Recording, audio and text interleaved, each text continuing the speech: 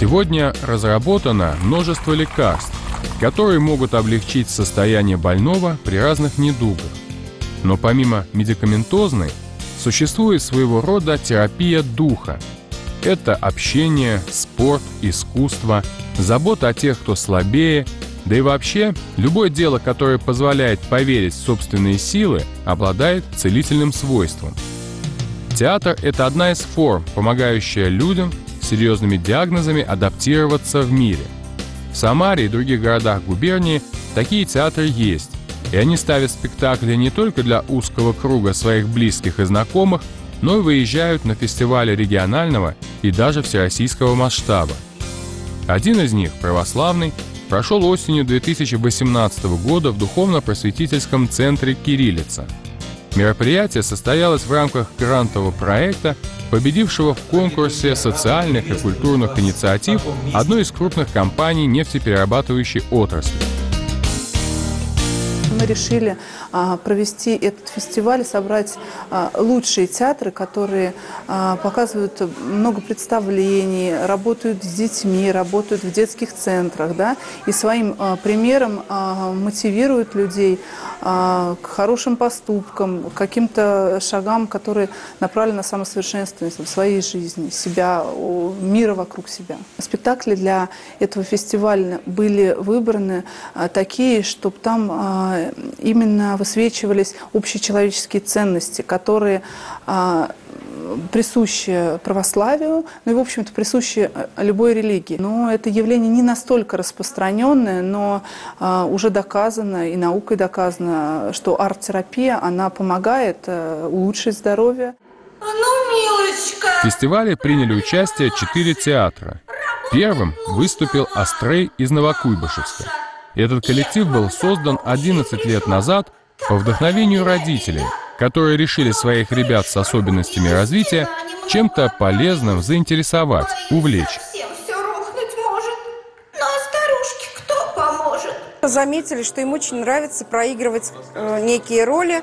И кроме того, во время того, когда они играют, вот как, как малые дети, да, они же через игру познают жизнь, так и наши ребята. Мы заметили, что очень многое они стали брать из этой игры. Когда мы проигрываем некую роль какую-то, они потом перенимают ее настроение, поведенческие нормы какие-то. И так зародилась идея делать под них специально маленькие, небольшие миниатюры сценические. Впоследствии я даже роли писала уже с учетом под каждого ребенка для того, чтобы его скажем, такие особенности неправильные в жизни становились изюминкой на сцене. Театр разрастался. Сейчас в нем 25 участников, от 13 до 40 лет, потому что самые его первые артисты выросли, но продолжают играть.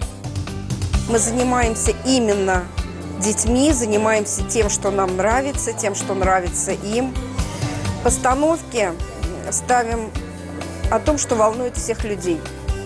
О добре и зле, о наших насущных проблемах. Нас приглашают и в реабилитационные центры, нас приглашают и в, вот в психиатрическую больницу. Мы были в детские дома, ездим, пансионат для тяжелых детей, инвалидов э, уже дважды вот были у них тоже. Ну, конечно, стараемся подбирать репертуар по уровню, чтобы э, наш приезд был не просто, ну, приехали, выступили уехали, а чтобы он действительно остался полезен для ребят, для взрослых людей, которые задумываются о жизни или что-то у них в жизни не совсем все сложилось. И хотя до сих пор театр не стал ни юридическим, ни муниципальным лицом, оставшись родительским сообществом, он успешен и известен далеко за пределами маленького городка, являясь финалистом всероссийских премий, лауреатом международного фестиваля и множества областных. Астреем покорены большие сцены не только Самары – Например, после спектакля «Ежу понятно» один из столичных залов аплодировал стоя. Как раз эту постановку Астрей представил и на Самарском фестивале. Пора отсюда на валить. Здесь больше нечего ловить. Такая грязь кругом, разруха. Да ты во всем права, сеструха. Хоть из берлоги не вылазь. В лесу кругом и вонь, и грязь. Да, развелось кругом подлоты. Так знать бы всех, как он, в болото. О, господин медведь, я к вам. Прошу вас, помогите нам. За норку поднятый налог супруг мой оплатить не смог. На трех работах спину гнет, все до копейки в дом несет. Концы едва с концами сводим. Ведь труд простой сейчас, не в моде. Платить не очень-то хотят, а у меня ведь семь зайчат. Ну и куда ж ты их плодила? Нам бедноту тут разводила. пришла. Этот спектакль о сегодняшней жизни. На сцене мы видим лесных обитателей, и это проекция на современное общество, в котором забыли о том, что такое душа, о смысле своего существования на Земле.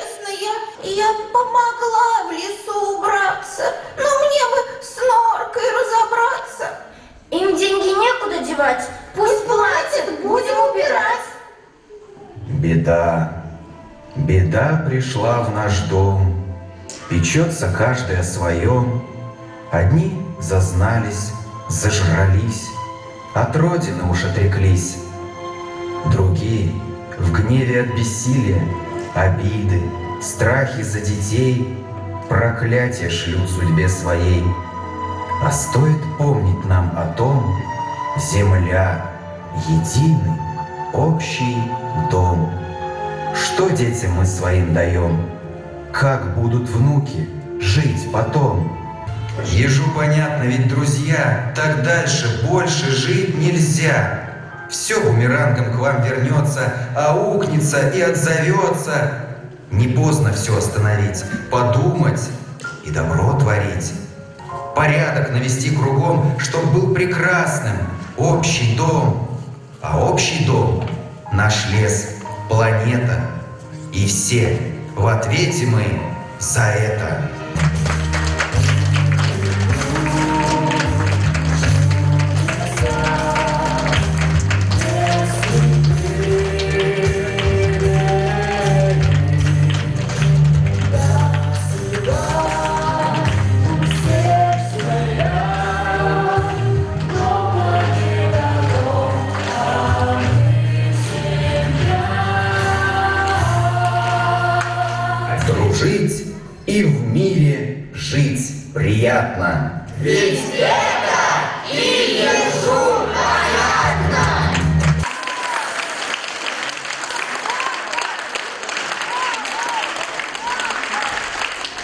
Волшебную историю «Случай с ангелом» Ольги Зверлевой зрители увидели в исполнении актеров арт-студии «Душа», что организовано при Самарском реабилитационном центре для инвалидов по психическим заболеваниям здоровья.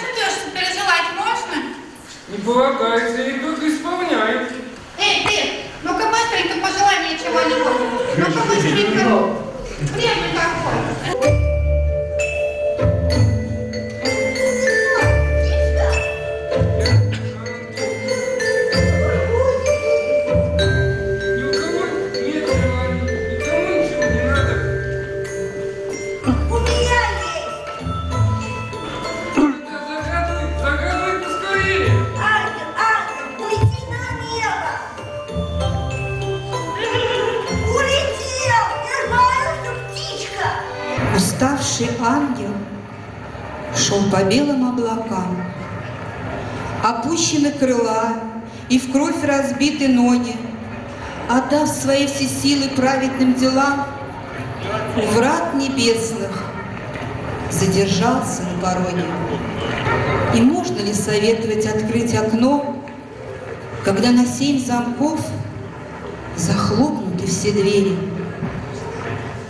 Но будет новый день, снова два крыла протянутся для страждущих, больных и бедных. И будет ангел зло сжигать для нас дотла. Во имя светлой человеческой надежды.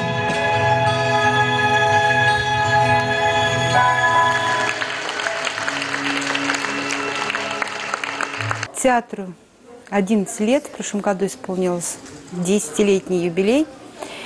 А, в театре стабильный коллектив, около 15 человек. Очень часто нашим клиентам не хватает общения, не хватает какой-то социализации, не хватает внимания, самореализации. И когда они приходят в театр, они вот с помощью театрального действия самореализуются, они по-другому себя чувствуют, они проигрывают какие-то такие сцены театральные и примеряют их на жизнь. Поэтому э, для них это очень важно. То есть они могут уже как-то концентрироваться, ориентироваться в, в нашей обычной жизни. Потому что для многих очень сложно даже выйти из дома. Стараемся принимать участие в фестивале. Раз в три года ездим в город Москву такой фестиваль, так называемый «Протеатр», где именно проводится э, вот этот фестиваль для людей с ограниченными возможностями здоровья. И э, принимаем участие в мастер-классах. Это международный фестиваль. И вот если у нас в Самаре дойдет до такого уровня, это будет очень здорово. Зрители фестиваля увидели эту же историю с ангелом, но уже в интерпретации Анны Виленс и в исполнении студии «Мирок», которым она руководит. Этот театр был образован в 2014 году сначала как коллектив родителей особенных детей с целью отвлечься от проблем. Затем он стал инклюзивным, то есть смешанным, где ребята с заболеваниями тоже смогли принимать участие и, по сути, семейным. Кастинга у нас никакого нет, и пропуском в театр является желание творить, вдумывать и пробовать себя в роли актера. Мы всегда рады новым людям. Вот недавно, например, мы влились в проект совместный с Новокуйбышевским музеем «Живые картины».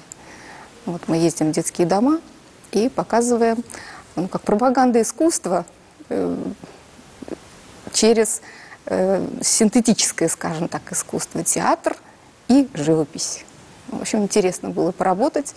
Он еще не завершен, мы продолжаем работать в нем. Ну, всегда открыты к сотрудничеству вот, и готовы показать себя где угодно и кому угодно. Даже под открытым небом бывало выступали. Так что, в общем, мы народный театр, можно сказать.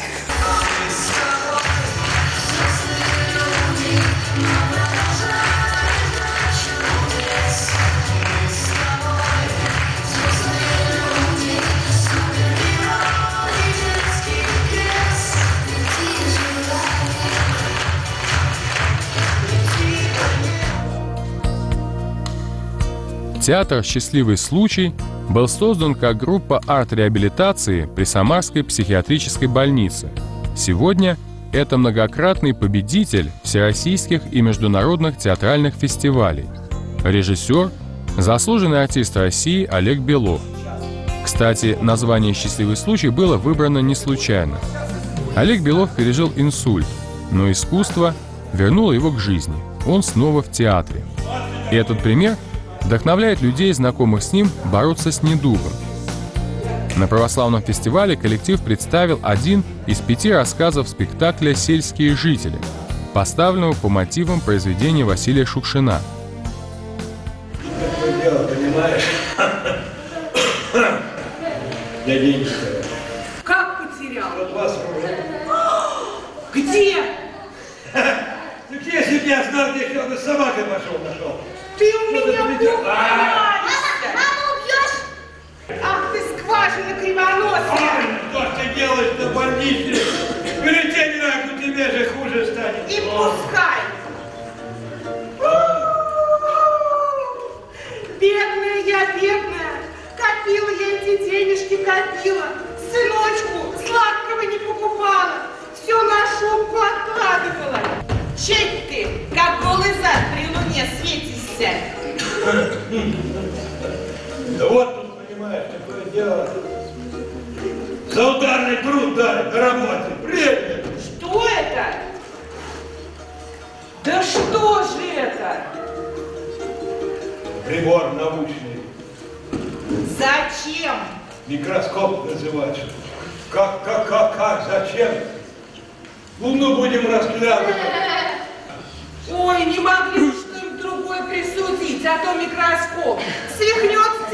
мужик, ночи не спит.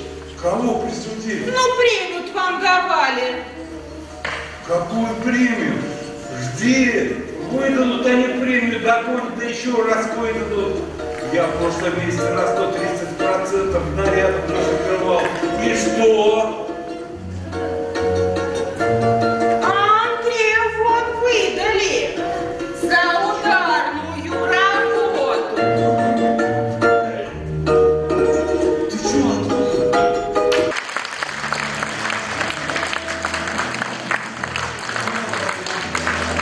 Я пришел помогать людям, и поэтому я должен только под консультацией врачей, что помогает, чтобы не навредить. Я говорю, какой репертуар? Потому что они мне говорят, Олег, как можно больше позитива, юмора. Она говорит, поймите, негатива и здесь хватает. Вот. И что-то такое, чтобы они могли себя с чем-то олицетворить. То есть, если мужчина, то герой, красивый. Если девушка, то леди. Вот. И вот поэтому этим толкается наш выбор репертуара. Первый у нас был граф Нулин, когда мы, я взял из театра «Камзолы», мальчик в камзоле 19 века, 18 века, таком, девочка в платье, вот, кстати, которая сегодня играла жену, вот, она в платье, вот в этом красивом с кринолином совсем, и они, когда вышли в Москве, мы на фестиваль приехали, там весь зрительный зал так! Они красавцы вышли, во-первых, они сами, как они себя ощущали. Вот, и поэтому, естественно, мы выбрали репертуар. И плюс еще, от- почему мы взяли Шукшина и рассказы? Потому что мы столкнулись с проблемой, что люди выписываются, и из спектакля, естественно, вылетают люди. А вводить – это работа не мгновенная и не одного дня. У меня нету никакого выбора по тому, кто лучше. У меня вот сколько есть, на тех и делаем.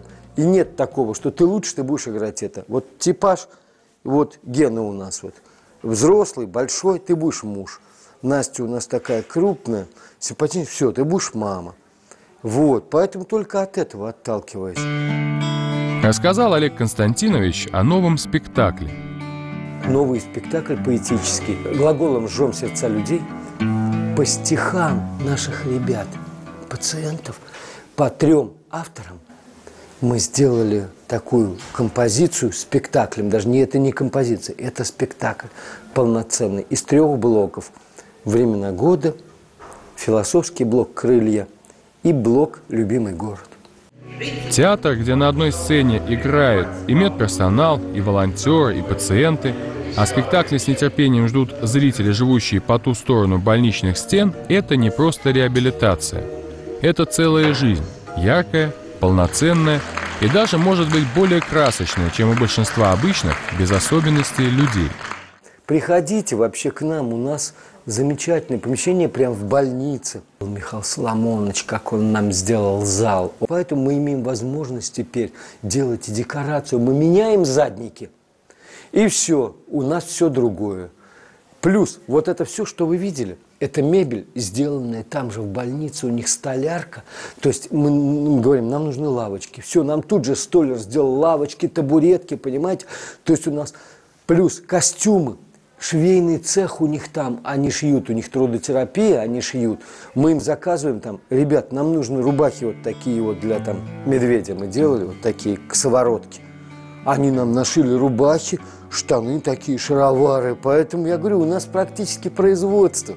У нас, я вам хочу сказать, кто хоть один раз приходит, они потом начинают на все спектакли наши ходить. Они говорят, ребят, звоните, зовите.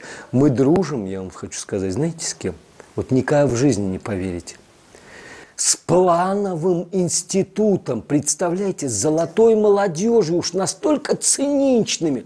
Эти люди на каждый наш спектакль приходят, они пересмотрели и постоянно звонят и говорят, Олег, что у вас новенького появилось?